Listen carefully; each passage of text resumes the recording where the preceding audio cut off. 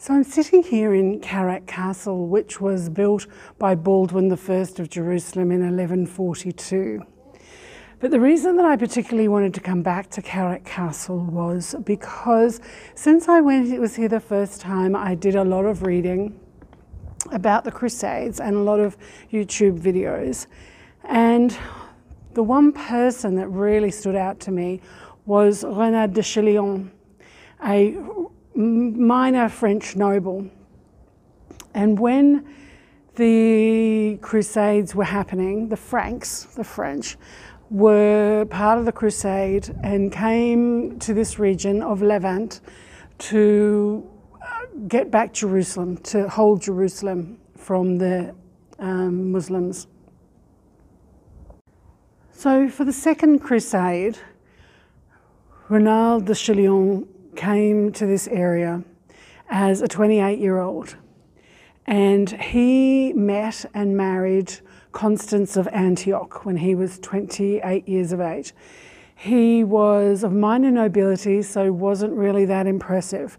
And they kept their marriage secret for a, a long time because Baldwin um, did, wasn't um, notified or wasn't consented um, about the marriage.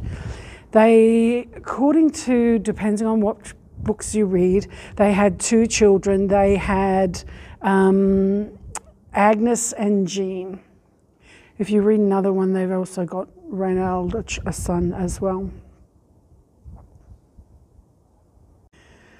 It depends on which literature or which information you read.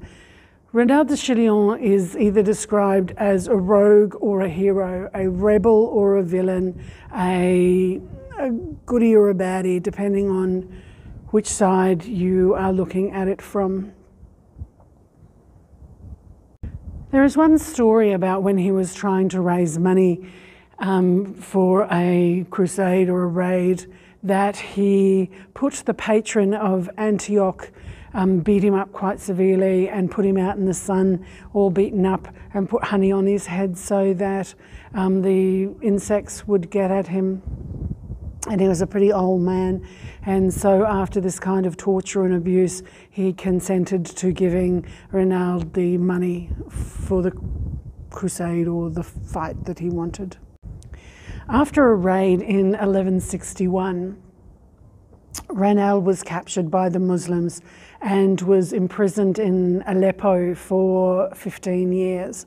And normally, what would happen with a crusader is they would be ransomed by their king, someone of Spain or, you know, whoever they were on their crusade for. But because Renald was not overly liked, they left him there. And eventually, after 15 years, he was ransomed for 120,000 gold dinar in 1176. That is a phenomenal amount of money. But while he was imprisoned in Aleppo, um, Constance died in um, 1163. So when he was released, he became envoy to for Manuel, I think Manuel was of Spain, and an envoy to Baldwin um, the fourth of Jerusalem. Baldwin the fourth was the leper, the 16-year-old leper. At this time, Renard de Chillon went um, was married to Stephanie de Milly, and they had um, several children. They had Renard, Renald, um, Alice, and depend of course who you're reading. They've got a third one. They've got Aveline. With Baldwin IV, the leper king, the 16-year-old, um, there was a battle of Montgisard, and depending on which literature you read, um, it was it is said that Renald de Chillon was the actual leader for that battle, and that was a battle that the Crusaders won, and um, Saladin was not happy at all. So from Karak Castle and Shobak Castle, Um, was a pretty evil guy. For if you were his enemy, it wouldn't be uncommon for him to throw you over the ramparts uh, and crush you to death over on that spur. During 1182, these, these castles were in a perfect position to do raids on pilgrim caravans um, and pilgrims going down to Mecca. Saladin also had trading caravans coming this way, and what Ranal would do would be raid them, and he wouldn't give them back, wouldn't pay ransom to give them back. So he was really ticking off Saladin.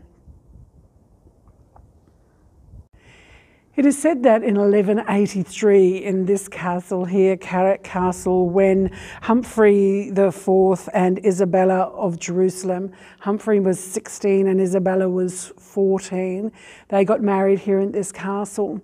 And Saladin was besieging the castle at the time, and what it is said that um, Stephanie de Milly had sent food down to Saladin so that he would not bombard the marital chamber of the, the wedding. With those Red Sea raids in about 1183 and in about 1185, Ranald de Châtillon um, became allied with Sibylla and Guy of Lusignan. With all this aggravation um, with the raiding of the pilgrim caravans and the the other caravans. It's at this time that Saladin put a jihad on Ranald de Chillon. In 1187, to the north of here, Lake Tibris, was the site for the Battle of Hattin, and this was the battle where Guy Lusignan and um, de Chillon were captured by Saladin. And the story goes that Saladin gave water to Guy, and Guy drank the water, and then he passed the water over to Ranald, and Ranald drank the water. But because Saladin did not offer the water to Ranald himself, what he did was invited Ranald to his or took Ranald to his tent to, to another place and basically struck him with a sword and while he fell down severed his head. And that was um, 4th of July 1187 so I keep saying it depends on who you read and who you listen to because there is several different sources that you can get your information from. One source said that it was because he didn't because he drank the water that wasn't offered to him personally by Saladin that he was beheaded. Another said that it was because he would not convert to Islam and that's why he was beheaded. So Ranald de Châtillon was about 61 or 62 when he was beheaded by Saladin, where you know, the other two excuses were probably pretty good. Drinking the water wasn't offered to you and um, not converting. But I think it's a third. I think it is more, it was a really political move by Saladin because Ranald has just been such a pain in his side for such a long period of time with all the raids and, and stealing the, um, you know, rioting the pilgrim caravans and stealing all the, the trade stuff. I think it was a political move to get rid of Ranald. So there's three really main sources that you get your information about Ranald, and one of them was from William of Tyre, who wrote really poorly of Ranald because Ray was basically humiliating the Christian world with all of these these raids, and he wasn't listening to what the the, the kings were saying. The second place to find it is in Muslim history, historical documents, because when Saladin actually wrote back to say why he had killed Ranald, it demonstrated that he was really a formidable opponent and was really quite respected as a, a, a as an opponent. So he was actually really quite respected by the Muslims. Some modern historians say that he was a maverick, that he was really disrupting the Christian cause and humiliating. Some say that he was a marauder that just could not resist temptation. Some Christian historians say that he was a martyr and that he was experienced and he was a reasonable leader. One of the primary reasons that he is actually a good leader is because he actually prevented unification of all of the Muslim states that were around just because he kept disrupting so much of the surrounding Muslim area. So there are a lot of historical novels that have that include Renal de Chillon, and they all give very different stories, different perspectives of him. But if you want to see a representation of him, you can look at Ridley Scott's 2005 movie. Um, Kingdom of Heaven, where Brendan Gleeson plays Renal as a big hairy buffoon, basically, that grovels and humiliates himself and has had has to kiss the hand of um, Baldwin IV, the 16-year-old leper king's hand. It's pretty interesting depiction of Renard de Chillon.